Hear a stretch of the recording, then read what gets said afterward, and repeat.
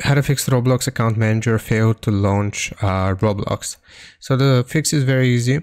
So all we need to do is open up our computer search, search for add or remove programs here and we want to Google search or just search the bar here for Roblox. Now, if you have Roblox downloaded from the Microsoft Store, it will not work with uh, Roblox Account Manager. So basically, right here, any instances that we have of Roblox, we'll need to uninstall. So click on uninstall and then uninstall.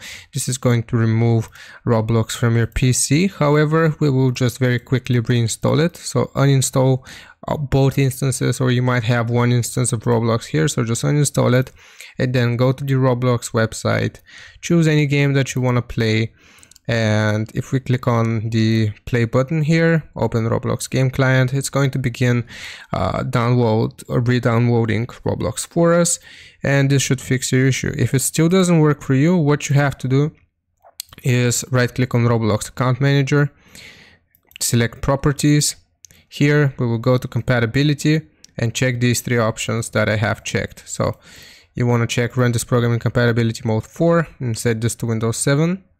You want to disable full screen optimizations and then run this program as an administrator. Click on apply, click on OK and this should fix your issue.